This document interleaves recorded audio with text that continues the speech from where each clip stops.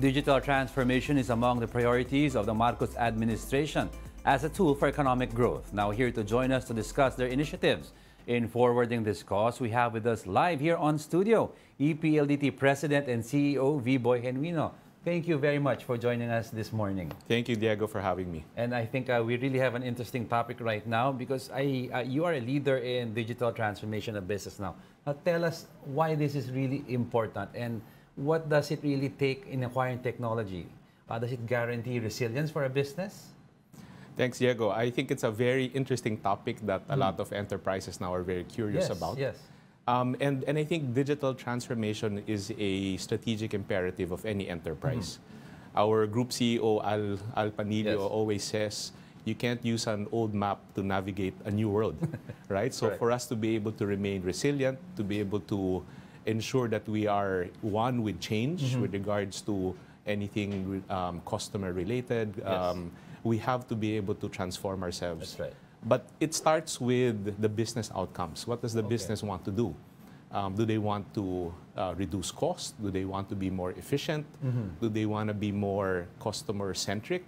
And I think our job as EPLDT would be to be able to match the technologies that are available in the market mm-hmm. to the outcomes that these ah, enterprises so would want. It's like it's customizable. It is. Okay, interesting. It is. Yes, yes. Because you know sometimes um, the problem is uh, technology drives how business should be run, that's but right, it's right. always uh, the other way the other way around. Business defines what they want, and technology follows suit. That's interesting. You said it's customizable, but a lot of people have been asking, "What if I only want one thing uh, for my business, and I don't really need this now?"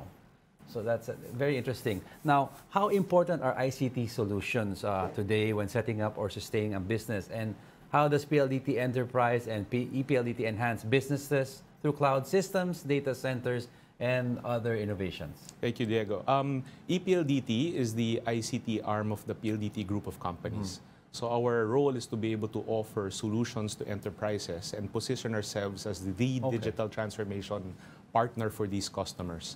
Our suite of services include cloud, cybersecurity, mm-hmm. and data centers. Oh, okay. Um, so when you talk about cloud, we offer a suite of uh, different uh, services mm-hmm. coming from our vendor partners like Amazon, mm. Microsoft, Google, Salesforce, and the like. Uh, cybersecurity is also very, very important. You cannot mm. just move certain applications into the cloud without ensuring protection around yes, it. Yes, that's right. And in the Philippines, I'm happy to, um, to, to tell you, Diego, that we are the largest data center operator in the country today. Mm-hmm. We have 10 data centers in the Philippines today. Uh, we are building our 11th data center in Santa Rosa, which okay. will go live by the second half of uh, next year. And um, the size of this data center is huge. It's 50 megawatts.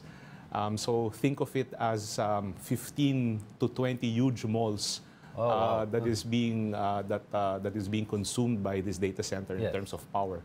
Um, so when you say all of these applications and services move to the cloud, yes. that needs to be housed somewhere, and our data centers will be housing all of these applications that are moving to the cloud. Yes, you, you mentioned the cloud a number of times. And of course, uh, the question on most business owners is how safe is uh, uh, your business solutions uh, from cyber attacks? I mean, what are you doing now to improve uh, cybersecurity? Thank you. Very important uh, question, Diego. Cybersecurity is very, very important. In a recent survey mm. uh, made with uh, chief information officers of large enterprises, resilience and cybersecurity is actually number one on their list. Mm. So for PLDT Smart, we're ensuring that we're investing a lot of know-how and technology to ensure that we protect yes. Uh, our network and our platforms. But if you look at it in terms of cybersecurity, there are five accepted pillars. Okay. Uh, the first one is identification. The, the second one would be to um, to be to to protect, mm-hmm. to detect, to recover, to, to respond, and then to recover. So these are the five pillars. And I think if we partner with EPLDT, we can also cover a whole suite of solutions that ensures protection for an enterprise mm, when they move their applications to the cloud. So you're saying, sir, it, it really depends what kind of business you are in. Yes. And that's how the security will adapt to that kind of Th- business. that's correct. Um, what we propose to our customers is to run a basic audit or what we Okay. call a security posture assessment. Okay. It's a simple audit that allows us to go to a company, Mm-hmm. um, see where their vulnerabilities are, and offer solutions on how to protect and uh, reinforce their assets. Um, you know, it's funny, Diego. It's like putting a security guard to be able to man your critical assets yes. at home. Yes, yes. Um, the same token for moving applications to the cloud, you need to put some security around it. Um, and those are the services that EPLDT offers. Uh, so it's it's like saying like uh, in the olden times you had your physical address and physical information and you had your security guard. Yes. guard. Now that you're moving into the cloud Yes. and being more modern, you now have all these pillars in place. that you were Yes, yes. And, um, and these threat actors are getting very, very creative. Yes, right? they are, Because they are. Um, unlike a physical threat wherein you know where it's coming from, Yes. when you move things to the cloud, it's basically, it can come from anywhere. That's true. That's so the true. protection required should be greater. Well, that, that, thank you for your reassurance. I'm sure a lot of uh, business owners are finding this very interesting. Thank you. Thank Actually, in fact, yeah. they're saying it's not a matter of if, but when, right? Yeah, so that's right, that's it's, right. it's really incumbent on enterprises to Correct. protect themselves. I agree. And uh, let's talk about ESG or environmental, social, and governance in assessing the sustainability of businesses. How do PLDT Enterprise and EPLDT help companies with their ESG strategies in order to gain investor confidence and reduce, of course, operational costs? That's very important. Very important. Um, I can speak on behalf of the data centers that we have. Okay. Uh, we are a very big consumer of power. And um, when you consume power, I think there are a lot of questions on greenhouse gas emissions Yes. And where you source your power. Um, I think for us that's very important. So we try to approach it in two ways. One is in terms of energy sourcing. Okay. We ensure that our data centers run with at least 20 to 30 percent of renewable power to ensure that there's the proper energy mix in Yes. the data center. And secondly, in terms of running our own operations, we ensure that energy efficiency is top of mind. Okay. And we are measuring this through the following. Um, number one is what we call power usage effectiveness. How efficient are we when we use power?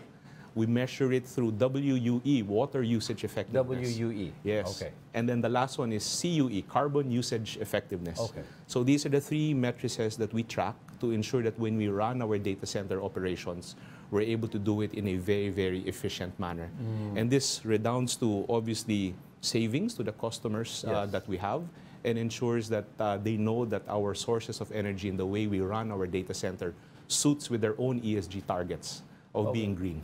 So it's like you're saying, sir, uh, they don't have to worry because there's really no fixed cost uh, uh, for some aspects because it really depends on how a business wants his uh, partnership with EPLDT to be like. Yes, yes. Um, I, I think the, the assurance we can give our customers is that the green agenda is number one on our mind. Okay. And we're, we're ensuring that all of the different aspects of running our business uh, has ESG um, and um, ensuring that carbon emissions are reduced. That's, it. that's, that's great to hear. And tell us more, sir, about the PLDT group and its commitment to, to support the government's nationwide digitalization uh, thrust. And I think I kasi we're moving forward Yes. with this, especially with this administration, into trying to integrate everything uh, online. Yes. Uh, so tell us more and more about your product, sir. Well, we're very supportive of the current administration's Yes. thrust to digitalization or for digitalization.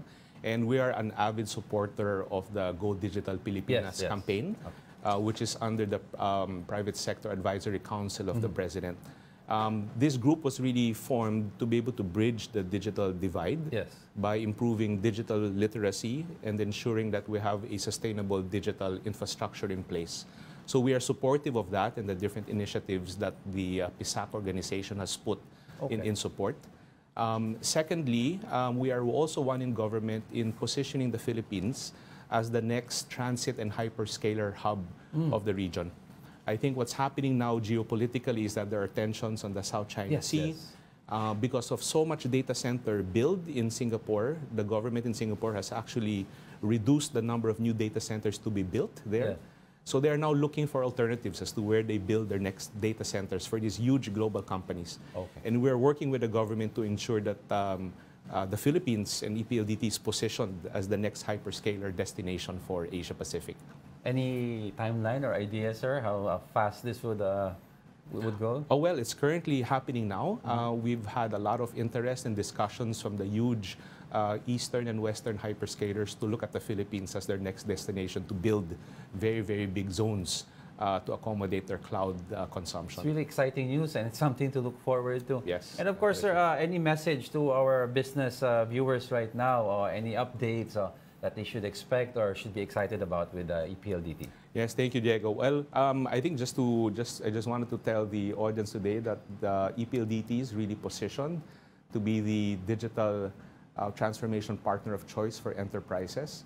Uh, we can help large enterprises, uh, the government, public sector, and SMEs achieve their digital transformation aspirations. Um, we are outcome-based and outcome-focused. You know, we are not here to sell technology. We're here to understand what the pain points of our customers are and then provide the right solutions to be able to ensure that they hit their business targets.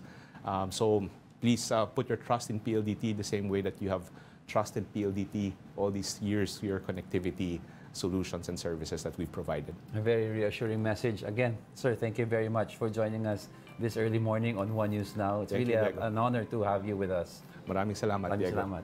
And Thank uh, thank you very much for joining us, EPLDT President and CEO Viboy Genuino.